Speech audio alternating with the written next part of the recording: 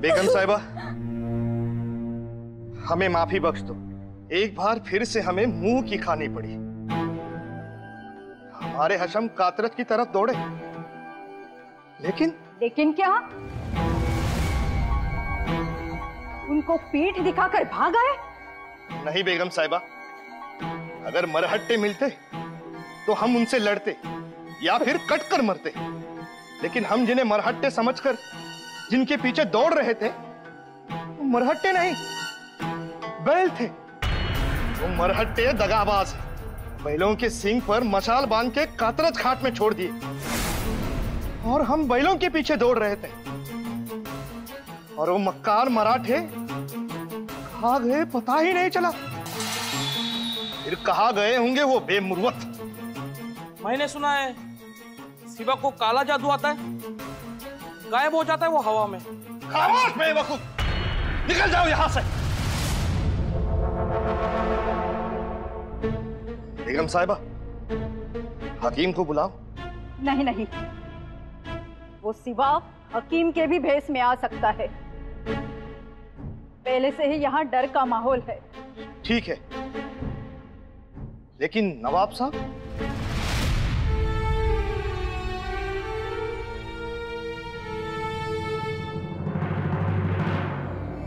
हुकुम साहिस्ते खान साहब का कत्ल हो गया।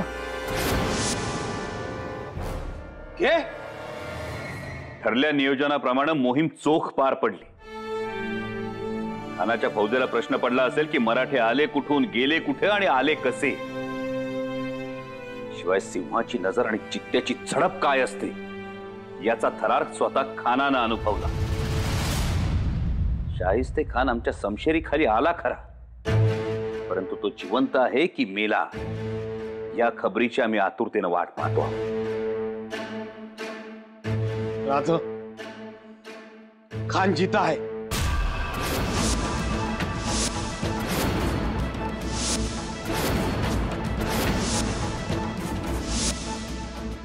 तुमच्या तडाखा बसला पण त्यो त्याच्या हातावर बसला. तीन बोट तुटली, राज.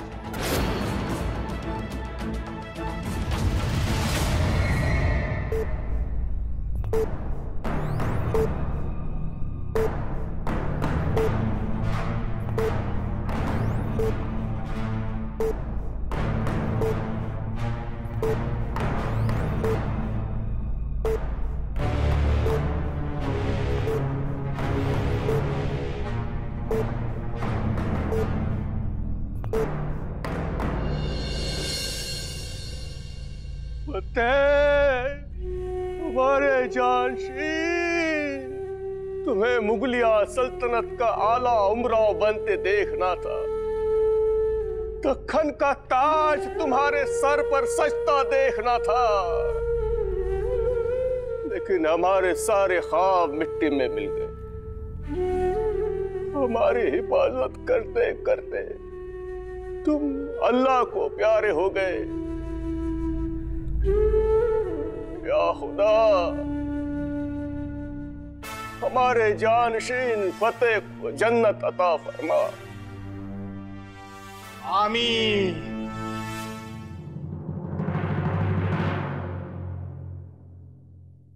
वो मराठे गद्दार है, मक्कार है। हम उन्हें नेस्तो नाबूद कर देंगे। अपनी पूरी ताकत लगाकर उनसे जूझना है। वाह! हम्म. आमचा कयास बरोबर होता। मग आता शाहिस्ते खान चौताळून प्रतिहल्ला करणार आपण नागाच्या शेपटावर पाय दिलाय। प्रत्युत्तरादाखल तो केवळ फुतकरणार नाही, तर आपल्याला दंश करण्याचा प्रयत्न करणार। आपण वेळीच सावध झालं पाहिजे. राज तुम्ही काय बी चिंता करू नका. या असल्या नागांच्या डोसक्यावर पाय देऊन त्यांचं जहरीलं दात कसं तोडायचं हे आम्ही बरोबर जाणतोय कालच्या छापामुळे छावणी आधीच धास्तावली आहे. आता परत जबर हल्ला चढून आम्हीच खान मारतोया. नाहीये सजीव पुन्हा हल्ला करणं धोक्याचं आहे. आपल्या छाप्यामुळं खानाची छावणी आता सावध झाली असणार. खासा शाहिस्ते खान आणि त्याची एक लाखाची फौज यांच्यावर आपली दहशत बसलेली आहेच. परंतु चौताळून खान स्वराज्यावर चालून येण्याआधी स्वराज्याच्या सरहद्दी मज़बूत करणं गरजेचं आहे. सर्जेराव तुम्ही गुंजण मावळ, रोहिड खोर आणि स्वराज्यातल्या सगळ्या गावांच्या वेशींवर जागता पहारा बसवा. तानाजीराव, येसाजीराव, पुण्याजवळचे सगळे गडकोट कजाक झुजते, भांडते ठेवा. गडांच्या घेऱ्यांमध्ये भिल्ल रामोशांचे तीर कामठ्याचे पहारे बसवा.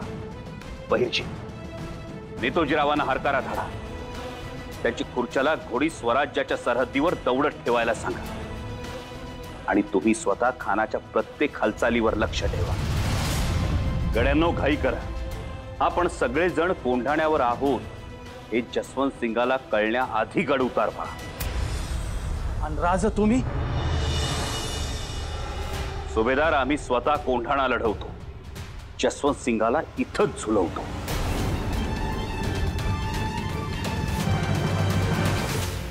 अल्लाह ये मरहट्टे कब आए, कैसे आए, कहाँ से गायब हो गए, ये पता ही नहीं चला। शैतान है ये मराठे कितना भी पीछा किया, फिर भी हाथ नहीं आए। ये कमबख्त मरहट्टे हवा की झोंके की तरह आए और तूफ़ान की तरह गायब हुए। धरती निगल गई या आसमां। हमारे हशम कहते हैं, कि शिवा को भूत पिशाच का जादू आता है।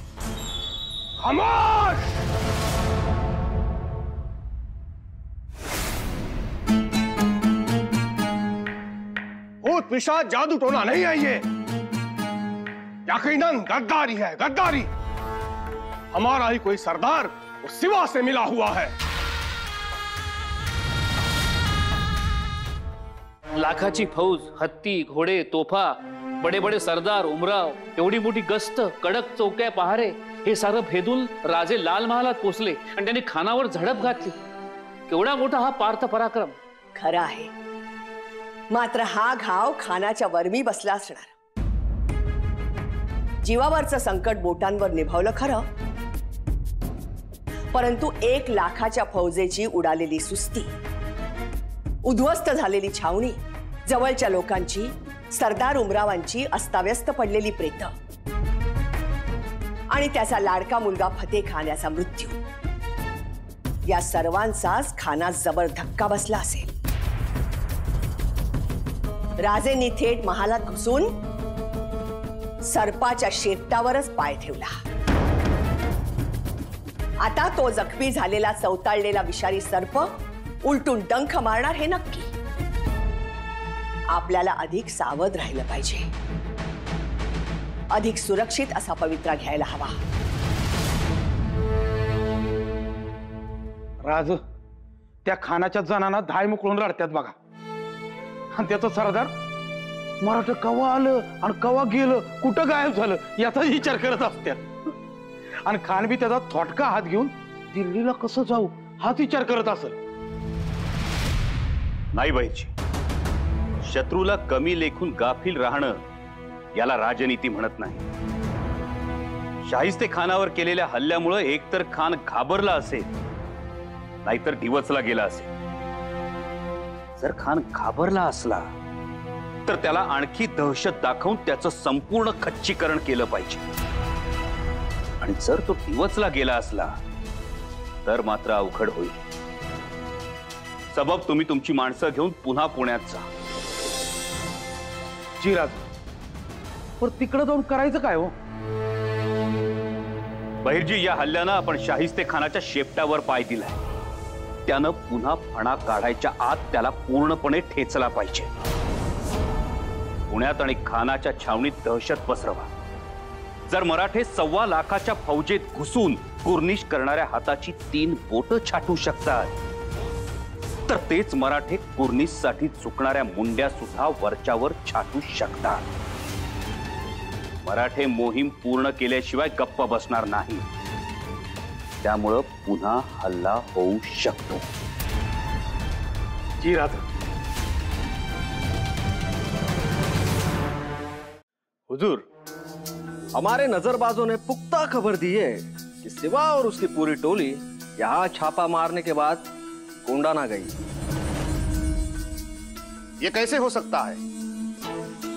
किले कोंडाने को घेरे हमारे जसवंत सिंह जी खड़े हैं। वो भी दिन रात उनके रहते ये बात मुमकिन ही नहीं। शमशुद्दीन शायद आपके नजरबाजों से कोई गलती हुई है। महाराजा जसवंत सिंह मुगलिया सल्तनत के वफादार है ईमानदार है। खामोश! ईमानदार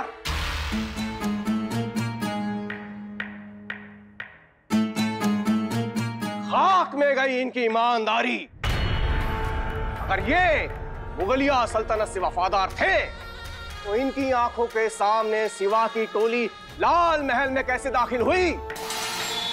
पूछो पूछो जसवंत सिंह से। उना में दाखिल होने के परवानों पर सिवा की मोहर की इजाज़त किसने दी? और इस गद्दारी के लिए सिवा से कितनी अशरफियाँ ली माफ़ी हुजूर। शायद आपसे कोई गलत फहमी। कारतलब खान! तुम इनकी वकालत मत करो। जसवंत सिंह सिवा के साथ मिला हुआ है। इन्होंने ही सिवा को छावनी में घुसने की तरकीब बताई। और इन्हीं की वजह से सिवा कोंडाना तक सही सलामत पहुँचा है। खामोश नवाब साहब हमारे खून में दगाबाजी ना हुए हैं जिसका नमक उससे वफादारी ये हमारा उसूल हुए है मुगलिया सल्तनत से वफादारी हमारा धर्म होवे है कसम एक लिंग जी की एक बात सबको बोल देता हूँ अगर किसी ने हमें गद्दार कहा तो यहाँ खून की नदियाँ बहेंगी। जसवंत सिंह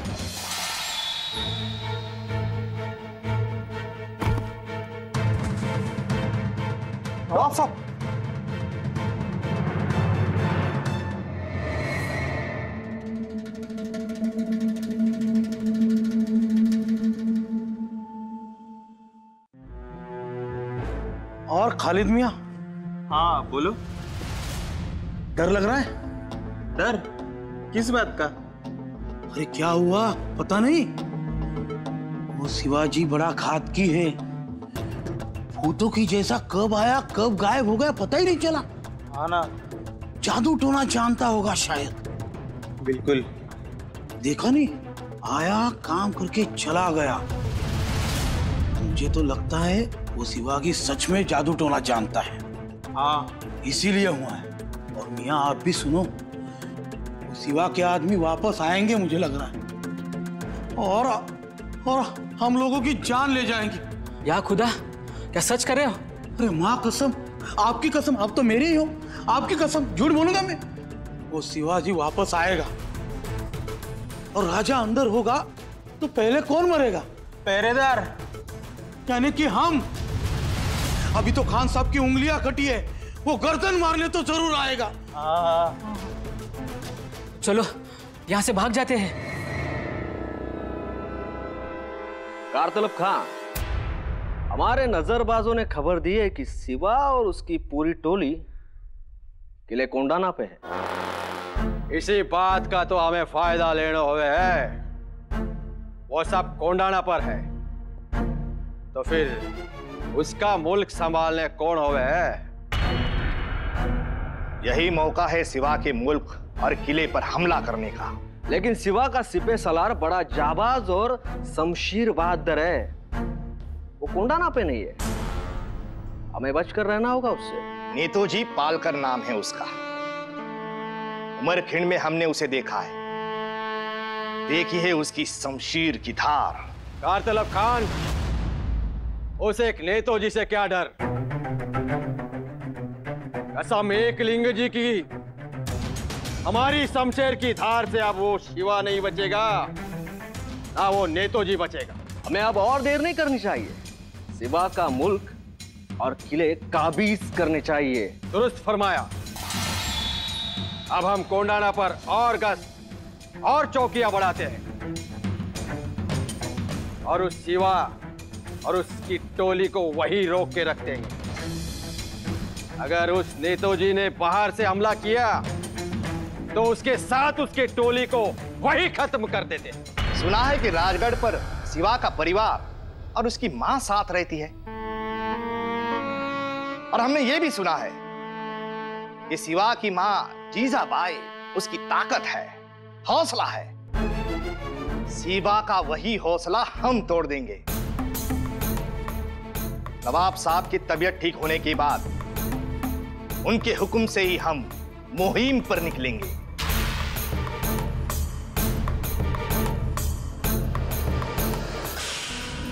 या अल्लाह ये क्या हालत हुई है नवाब साहब की? इतने बड़े हमले से जान बची है। ये अल्लाह की ही रहमत है।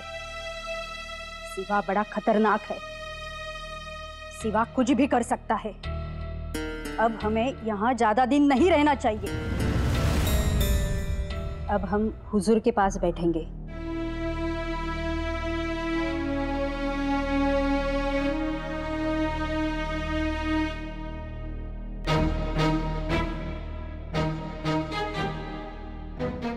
या अल्लाह, हुजूर को होश आ गया। हुजूर, अब आप आराम फरमाइए। हज़रत, हमें बहुत डर लग रहा है।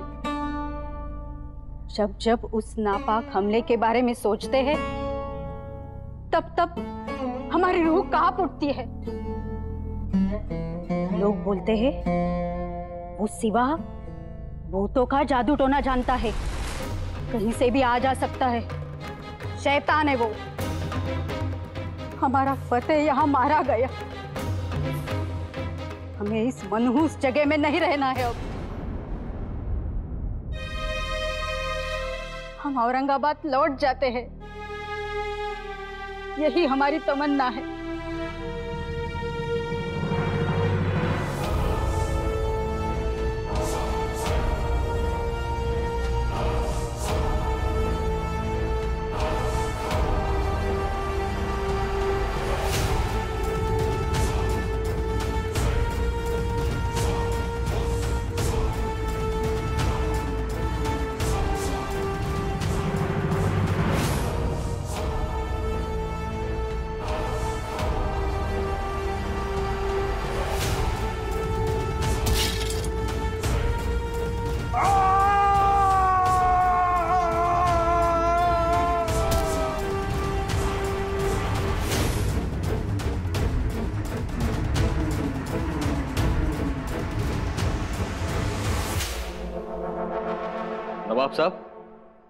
अब आपकी तबीयत कैसी है?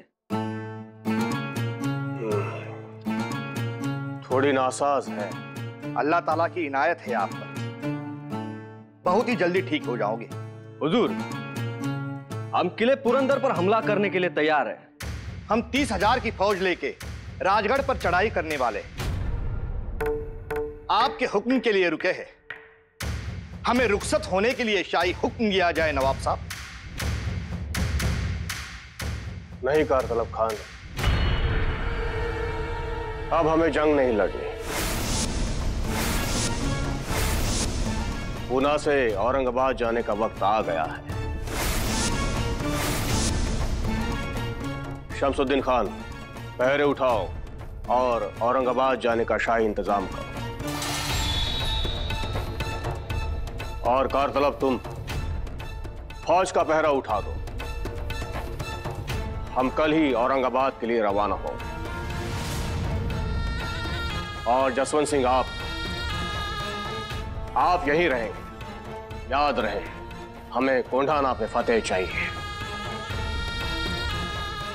कोंढाना हमें मुगलिया सल्तनत में शामिल करना है। अशीच दहशत बसायला हवी। हत्तीवरून साखऱ्या वाटा। तोफांना बत्ती द्या विजयी जल्लोष करा। सारा रयतेस कळू द्यात शाहिस्त खानाची कशी फजिती झाली ते। औसेफ आम्ही सदरेवर वर्दी देऊन येतो. पंत खानावर झालेल्या या हल्ल्यामुळे मुघलशाहीत चांगलाच हादरा बसला. राजेंच्या या भीम पराक्रमाने शाहिस्त खानास अशी अद्दल घडली आहे की या जन्मीच काय? पुढचे सात जन्म तो स्वराज्याकडे वाकड्या नजरेनं पाहणार नाही. तुमच्या पाठीशी आई जगदंबा भवानीचा सतत जागता पहारा असतो. यशवंत व्हा. उदंड यशस्वी व्हा राजे.